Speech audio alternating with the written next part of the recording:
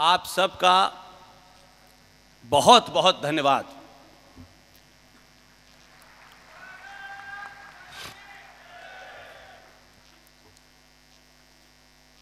ये मेरे जीवन का एक ऐसा क्षण, एक ऐसा लम्हा है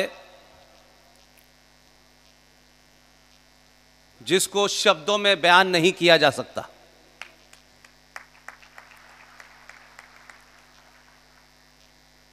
आज के इस कार्यक्रम के आयोजक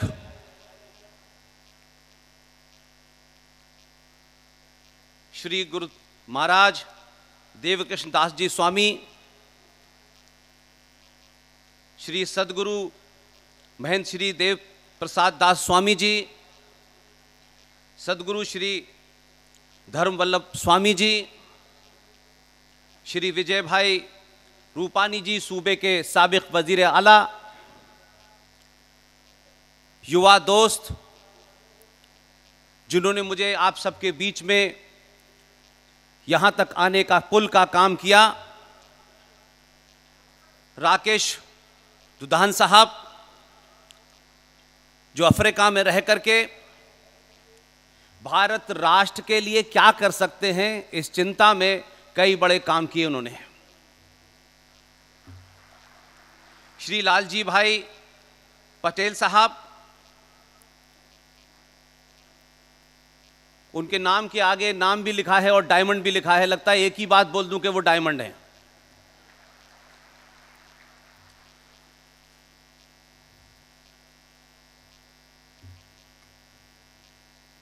मुझे ये चिंता रहती थी और हर बार जहाँ जहाँ देश में मैं जाके बोलता था तो एक ही बात बोलता था मैं बार बार कि जब ये तथाकथित तौर पर झूठे डॉक्यूमेंट और डेट के साथ भारत में ये पढ़ाया जाने लगा कि 15 अगस्त 1947 को भारत आज़ाद हुआ था यह दुनिया का सबसे बड़ा झूठ है। किसी भी राष्ट्र और देश में अगर झूठ बोलने और झूठ सुनने की परंपरा शुरू हो जाए तो उसका अंत कोई नहीं रोक सकता। लेकिन मुझे खुशी है कि 15 अगस्त 1947 को मैकॉले ने बहुत सारे कॉर्वेंट बनाए।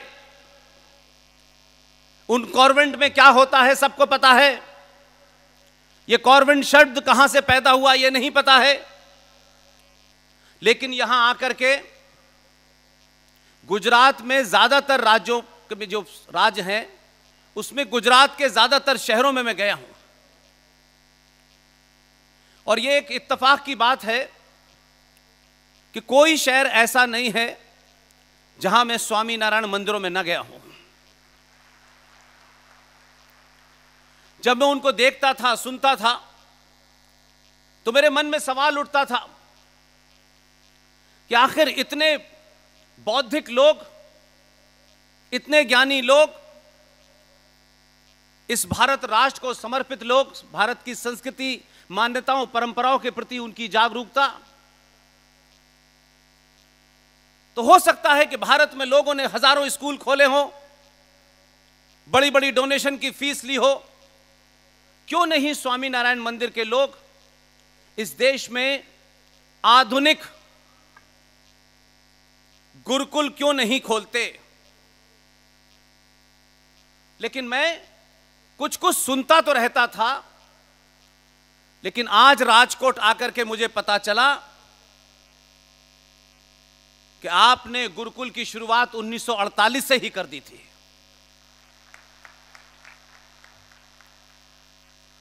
इसलिए मैं अपने शब्दों में लिहाज कम करता हूँ, लेकिन मान्यता और परंपरा और किसी का सम्मान मुझसे मेरे शब्दों से न गिरे, इसकी भी कोशिश करता हूँ। पूरे देश में कहता हूँ, मैं ऐसा नहीं है कि आज मैं गुजरात में राजकोट में खड़ा हूँ तो यह बात कह रहा हूँ। मुझे यहाँ से हैदराबाद जाना है, वहाँ भी बोलना है, और फिर कर्नाटक जाना है, वहाँ भी बोलना है। मैं मानता हूँ कि गुजरात के लोग, ईमानदार लोग हैं।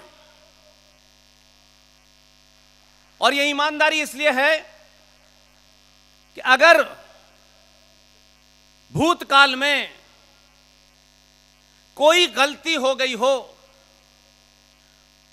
दो अक्टूबर वाली तो गुजराती अपनी भूल का सुधार कर लेते हैं 2014 में।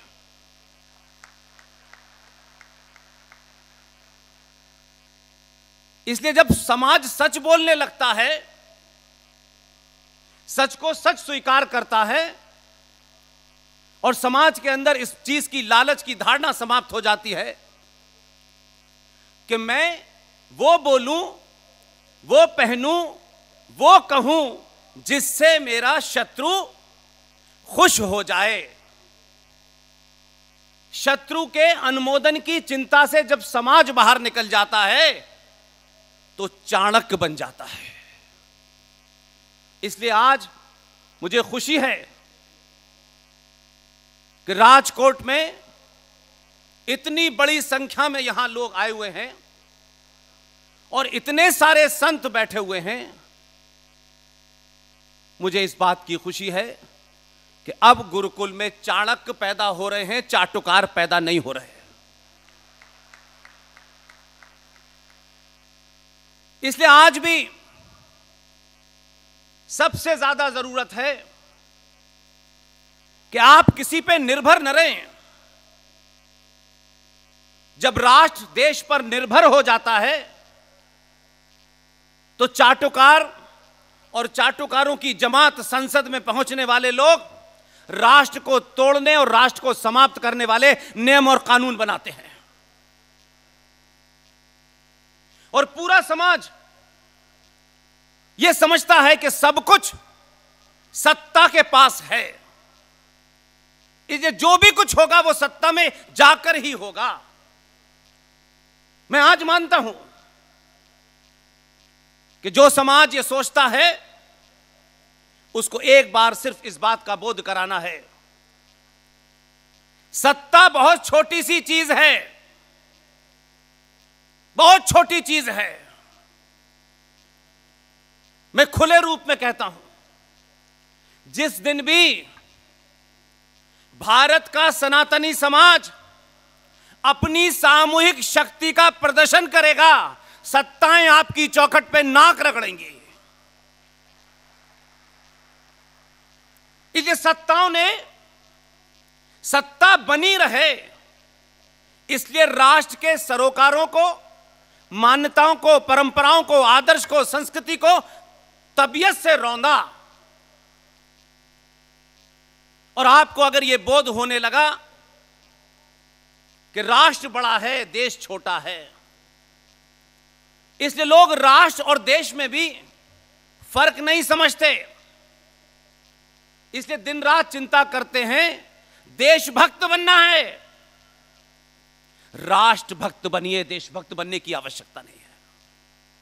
जो राष्ट्रभक्त होगा, वो देश बचाएगा, लेकिन देशभक्त राष्ट्र बचाएगा, इसकी गारंटी नहीं है। देश एक छोटा सा भूमि का टुकड़ा है। उसकी सरहद है, बाउंड्री है। उसकी रक्षा करने के लिए सेना है। देश की व्यवस्था चलाने के लिए संविधान है, संसद है, विधानसभाएँ हैं। वो किसी नियम कानून से बनी हुई हैं। कहीं कोई कानून है, कहीं कोई नियम है।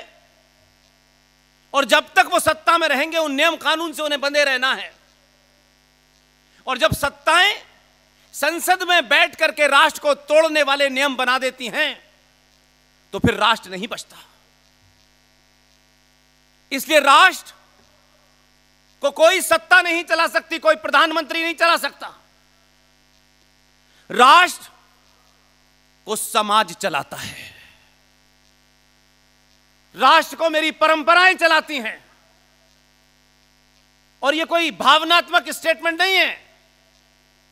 यह शुद्ध साइंस पे है। देश में रहने के लिए किसी को टैक्स देना है हाउस टैक्स देना है इनकम टैक्स देना है। नियम कानून मानने हैं, सड़क पे चलने का कानून मानना है। आपके जीवन में देश का मात्र दो या तीन परसेंट जीवन सिर्फ़ आपको देश के लिए होता है। लेकिन आपकी मान्यताएँ और परंपराएँ देश की ना कोर्ट तय कर सकती है, ना संसद तय कर सकती है। और हमारी खामोशी ने यह होने दिया।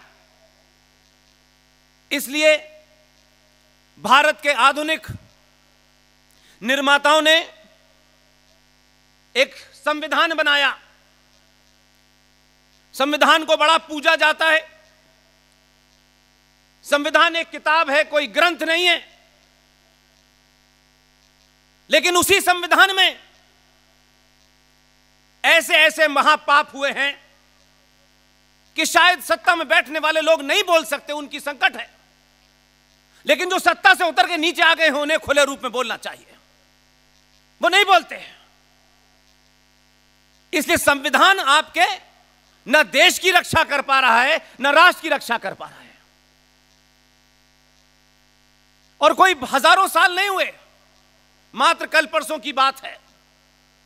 इतिहास में दस साल, बीस साल, पचास साल एक लम्हे के बराबर होते हैं, एक क्षण के बराबर होते हैं। और जो कुछ हमारे पूर्वज सनातनी हिंदू समाज को मैसेज देना चाहते थे उस कठिन परिस्थितियों में भी तब भी वो काम करके गए। लेकिन हमने उन हीरोज का कभी नाम नहीं लिया। हमने समझा, सब कुछ फूल वाले चचाई करके गए हैं। उससे आगे सोचा नहीं हमने कभी। न उस पर कभी चिंता ज़ाहिर की, न उनको हमारे समाज में उन बातों को रखने की कोशिश की। और अगर हमने कुछ कुछ बातें बता दी होती तो आज हमारी ये दुर्गति नहीं होती। आज धरने से इस देश में मदरसों की बौछार आई हुई है। बीकानेर से लेकर जैसलमेर के बॉर्डर पे हज़ारों मदरसे खुल रहे हैं। मदरसों और गुरुकुल में फ़र्क क्या है?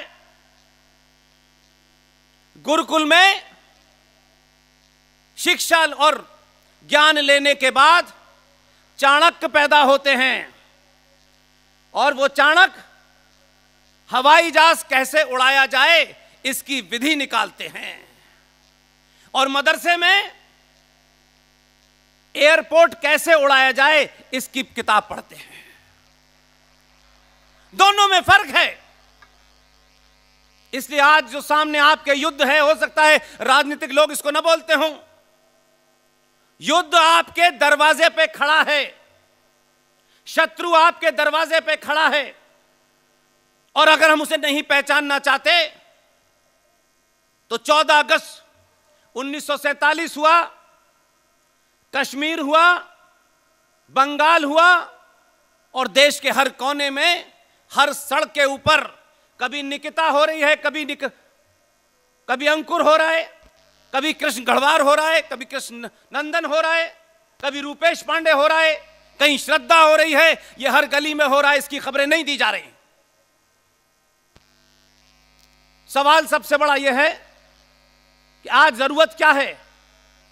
ज़रूरत इस बात की है कि आप राष्ट्र की मान्यताओं, परंपराओं की तरफ़ जिस दिन लौटेंगे तो अभी तो 20 राज्यों तक चाणक्य पहुँचे हैं, अभी कुछ राज्य और बचे हैं।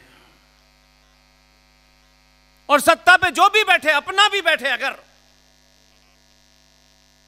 तो उससे अपने निजी काम मेरे भाई का काम, मेरे चचा का काम, मेरी सड़क। ये सड़कें बनती बिगड़ती रहेंगी। अगर राष्ट्र टूट गया तो जो जो आक्रांता यहाँ आए थे, वो आज आपके बीच में बैठे हुए हैं। इसलिए एक डॉक्यूमेंट्री तैयार की है, स्वामी जी ने। मुझे उसको दिखाया गया। मैंने बहुत प्रेम से उसको देखा। उसमें सिर्फ़ मुझे एक ही बात ऐसी लगी कि जिसे लगा कि मुझे सबके सामने कहनी चाहिए। क्योंकि अगर मैं यहाँ नहीं कहूँगा तो दुनिया कहेगी कि आप सारे मंचों से बोलते हैं, आपने राजकोट में स्वामी नारायण मंदिर के इतने बड़े भव आप में क्यों नहीं बोला? और यहाँ इसलिए बोलना ज़रूरी है कि हो सकता है रिसर्च में कहीं कोई छोटी सी कमी रह गई हो। या एक जो परंपरा चल रही है, आपने उसी को ध्यान में रखा। 15 अगस्त 1947 को भारत आज़ाद नहीं हुआ है। यह सबसे बड़ा पाप और झूठ है। दुनिया का कोई डॉक्यूमेंट नहीं है। और जो लिखा हुआ है, उसको हम पढ़ते नहीं है। 15 अगस्त 1947 को भारत की धरती के दो टुकड़े हुए थे। साढ़े दस लाख हिंदुओं की हत्याएँ और उनके ऊपर यह देश आज़ादी का जश्न मना रहा था। जब दिल्ली में झंडा फहराया जा रहा था, उसी समय पूरे पंजाब में हज़ारों महिलाओं के साथ आताताई आक्रांता जिहादी रेप कर रहे थे और पर्दे लगा दिए गए थे दिल्ली में कि ये आवाज़ें और ये चित्र दिल्ली को पता ना चले। और आप कहते हैं आज़ाद हुआ था। 15 अगस्त 1947 को, जो ब्रिटिश साम्राज्य का आखिरी वॉइस रॉय था, जिसे आप लॉर्ड लुइस माउंटबेटन के नाम से जानते हैं। दुनिया में कहीं ऐसा हो सकता है कि जिन आक्रांताओं ने आपको गुलाम बनाया, आपकी शिक्षा पद्धति को रौंदा, आपके मंदिरों को रोका, आपकी आस्थाओं को रौंदा, उन्हीं का आखिरी वॉइस रॉय तथाकथित 15 अगस्त उन्नीस को पहला भारत का गवर्नर जनरल बन गया। और हमारी बीमारी, हमारी गुलामी इतनी दूर तक है कि भारत की संसद में और भारतीय राजनीति में सत्ता से दूर एक आदमी ने एक आंदोलन खड़ा किया। वो बिहार और यूपी के बॉर्डर पे एक जगह है, छोटी सी सत्याप द्यारा वहाँ से चला। और भारत की सत्ता पे बैठने वाले एक लोकतंत्र द्वारा चुने गए एक नेता ने जब तानाशाही रुख अपनाया तो उसने जन आंदोलन का रास्ता तय किया और सत्ता को खड़ फेंका। इसलिए मैं आपको वो बात बताना चाहता हूँ, जहाँ से हमें दुनिया के सामने तन के खड़े होने में थोड़ा शर्म महसूस होती है। ये सवाल आप जब पूछे जाते हैं आपसे, जब आप विदेशों में होते हैं। हम हिंदुस्तान में बैठ के बहुत सारी बड़ी बड़ी बातें कर सकते हैं। जो भारत का आखिरी वॉइस रॉय था, उसको आप तब समझेंगे, जब इटावा नाम की एक जगह उत्तर प्रदेश में है, वहाँ एक कलेक्टर था। ये जो ब्रिटिश शासन के लोग थे उनका एजेंडा क्लियर था। लेकिन हमारे यहाँ लोग दरबारी ज़्यादा थे। उन्नीस, अठारह में जब सशक्त क्रांति हुई और मेरठ के अंदर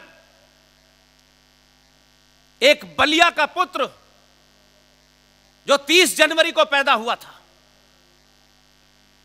उसने बंदूक उठाई और अंग्रेज़ के सीधे गोली मारी। जिसे आप मंगल पांडे के नाम से जानते हैं। दुर्भाग्य देखिए, अंग्रेज़ समझ गया कि भारतीयों को पता चल गया है कि गोली कहाँ चलानी है।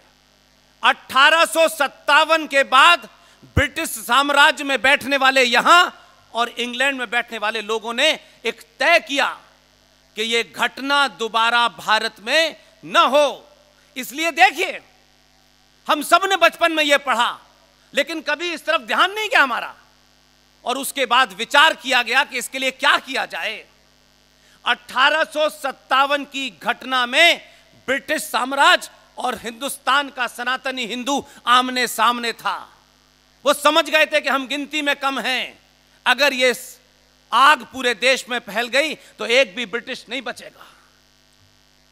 इसलिए उन्होंने प्लानिंग की। और प्लानिंग करके अठारह में इटावा नाम की एक जगह में एक कलेक्टर था अंग्रेज़, और उसको यह जिम्मा सौंपा गया। लोगों को पता ही नहीं चला और आज भी हम उस झूठ में जी रहे हैं।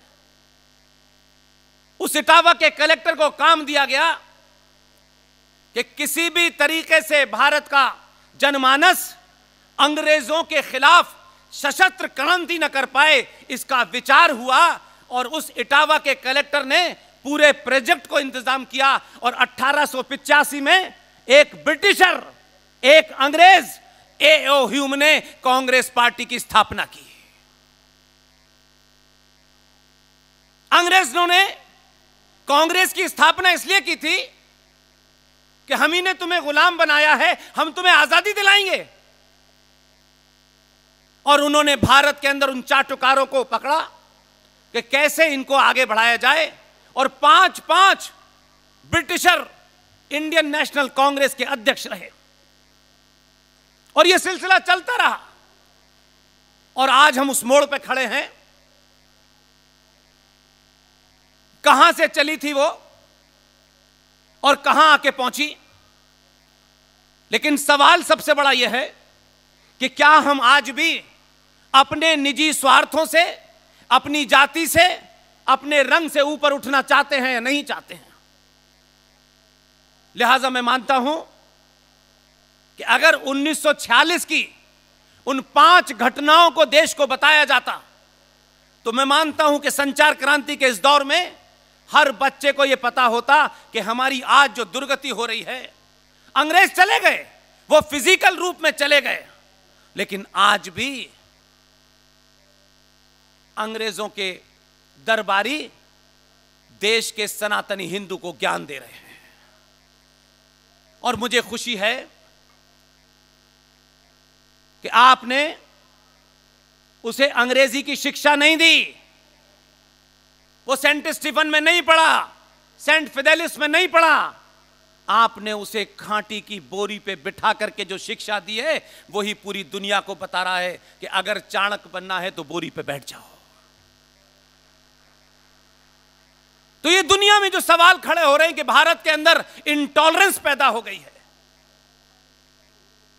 हाँ, भारत का सनातनी समाज इंटॉलरेंट हो गया है। कोई शर्म की बात नहीं है। इंटॉलरेंट होना। हम पागलों, देश के तोड़ने वालों के खिलाफ, इस गली गली में हत्याओं का सिलसिला चलाने वालों के खिलाफ हम उन मदरसों के खिलाफ जहाँ अल जवाहरी पैदा होते हो, जहाँ अजहर मसूद पैदा होते हैं, उसके खिलाफ इंटॉलरेंट है। हमारे यहाँ आज की स्थिति ऐसी है कि आज संचार क्रांति के दौर में सब कुछ आप साफ़ साफ़ नहीं कह सकते, खासतौर से जब सत्ता में आप संविधान की शपथ लेके बैठते हैं। लेकिन इतने लंबे समय में मैंने पहली बार देखा कि सत्ता का मुखिया अपनी बातों को लाइनों के बीच में से कहता है। जो समझ जाते हैं, वो काम पे लग जाते हैं। वो R S N Singh, G D Bakshi, Sushil Pandit, Lalit Ambardar professor Kapil Kumar, professor Pawan Sinha बन जाते हैं और जिनकी समझ में नहीं आता, वो टिकट की लाइन में खड़े हो जाते हैं। उसने कहा साफ़ साफ़ कहा शपथ लेने के बाद कि ये जो गंदगी है, जो हम इधर उधर करते हैं, इसके खिलाफ हमें इंटॉलरेंट होना है। गुजरातियों की तो ज़्यादा समझ में आती होगी उनकी भाषा, क्योंकि पंद्रह साल की ट्रेनिंग के बाद आप ही ने भेजा है उसको। इसलिए आप ज़्यादा समझते हैं। उसने जब यह कहा कि हमें गंदगी के खिलाफ इंटॉलरेंट होना है तो सिर्फ़ उसने सड़क पे पड़ी हुई गंदगी के खिलाफ नहीं कहा। उसने कहा कि इस देश में 20-25 करोड़ गंदगी लिए घूम रहे हैं, उनके खिलाफ भी इंटॉलरेंट होना है। इसलिए उन्नीस सौ बस दो टाइम इज़ रनिंग आउट समय कभी नहीं भागता है। समय रोज ही इसी तरह भागता है। हमें आप मौका कभी कभी देते हैं। इसलिए इतने सारे लोग हैं और इतने प्रबुद्ध लोग हैं, इतने ज्ञानी लोग हैं। मैं समय की मर्यादा में रहूँगा और इसलिए भी रहूँगा कि जिस अनुशासन के साथ ये पिछले कई दिन से ये चल रहा है, उसमें मुझे अपना अनुशासन बरकरार रखना चाहिए। लेकिन मैं सिर्फ़ दो तीन बात कह के अपनी बात समाप्त करता हूँ। सनातन अनादि अनादि काल से है, जब से इस सृष्टि का निर्माण हुआ होगा। इस बीच में कोई 1400 साल पहले आया, कोई 2000 साल पहले आया 1400 साल पहले जो आए, उनका भी कोई नबी था 2000 साल पहले आए, उनके भी कोई इशू थे, उनकी भी कोई किताब थी मज़हब के आने का, मज़हब के जाने का, नबी के आने का, नबी के जाने की सबकी डेट है। सनातन न पैदा हुआ है, न सनातन को कोई मार सकता। और यह भी सृष्टि का नियम है, जो पैदा हुआ है, उसका मरना निश्चित है। उसको मारने के लिए किसी को आने की आवश्यकता नहीं है, वो खुद मर रहा है। इसलिए आपको ज्ञान कौन दे रहे हैं? आपको कौन ज्ञान दे रहे हैं? जो 1400 साल में अपने साइज़ का पजामा नहीं बना पाए, वो भारत के लोगों से कहते हैं, ताजमहल हमने बनाया है। वो डिक्टेट कर रहे हैं टर्म्स इसलिए आज अपने ऊपर गर्व करने का समय है। अपनी संस्कृति के ऊपर, अपने आदर्शों के ऊपर, अपनी मान्यताओं के ऊपर गर्व करने का समय है। लेकिन आज मेरे मन की एक बात पूरी हो गई है, इसलिए शायद अब मैं किसी मन से यह बात नहीं कहूँगा। गुजरात के राजकोट शहर में स्वामी नारायण मंदिर के तमाम संतों ने एक आदर्श पूरी दुनिया को दिया है। और उस आदर्श में, उस घटना का मैं प्रत्यक्ष गवाह बना इसके लिए, मैं आप सब लोगों का जिन्होंने मुझे बुलाया है या जो मुझे सुन रहे हैं, उनका मैं तहे दिल से धन्यवाद इसलिए करता हूँ। गुरुकुल सुनते थे, गुरुकुल देखते थे। चाणक्य के दौर का भी गुरुकुल हमने देखा। और गुरुकुल देखा तो गुरुकुल में ऐसे लोग पैदा हुए। लेकिन मैं इसलिए खुश हूँ कि सनातनी हिंदू समाज की बेटियाँ, माए, बहनें, जब सिनेमा से यह तय करती हैं कि सुंदरता की परिभाषा तैमूर की अम्मी है, आज आपने इस जगह से एक बहुत बड़ा हवन शुरू किया है। और मैं, ये बात मेरी किसी से हुई नहीं है। मेरी अपने मन की बात है। जो लोग भी इस सभागार में बैठे हैं और ये बात अमेरिका से लेकर दुनिया भर के शहरों में जा रही है, अगर गुजराती तय कर लें और जिसका शुभारंभ यहाँ से हुआ है, जो जिस स्थिति में है, एक रुपए से लेकर के पाँच करोड़, दस करोड़ जिसकी स्थिति, हैसियत है, वो दे, क्योंकि भारत में पहली बार बेटियों के लिए गुरुकुल बनाने की शुरुआत की गई है। आप अपने निजी स्वार्थों से ऊपर उठ चुके हैं, इसलिए 25 साल से दुनिया भर की ताकतें लगी हुई हैं कि कहाँ से यह पैदा होकर के दिल्ली में 14 में आया, फिर 19 में एक गया, और यह सिलसिला जारी है, इसे जारी रखिए। अभी अगर मगर करने का समय नहीं है उसकी जाति क्या है, वो बोलता कैसे है, क्या करता है? हम यही जानते हैं कि जो जिस भाषा में समझना चाहता है, वो उसी भाषा में समझा देता है। गुजरातियों ने जो लाइन रखी है, उस लाइन के कारण ही किसी को गलत फहमी नहीं होनी चाहिए। गुजरातियों ने भारत के सत्ता को एक रास्ता दिखाया है कि अगर राष्ट्र की चिंता करोगे तो जितनी बार पाँच साल में वापस आओगे, तुम्हें भरपूर समर्थन के बाद वापस दिल्ली भेजेंगे।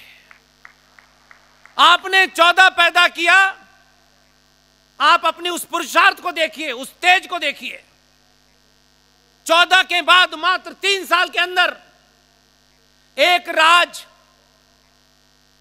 जिसकी जनसंख्या पाकिस्तान से भी ज़्यादा है उस राज्य में तीन साल में लोगों को यह चेतना पैदा हो गई कि अब चाटुकारों को उत्तर प्रदेश की गद्दी पर नहीं बैठाना है, एक संत को बैठाना है।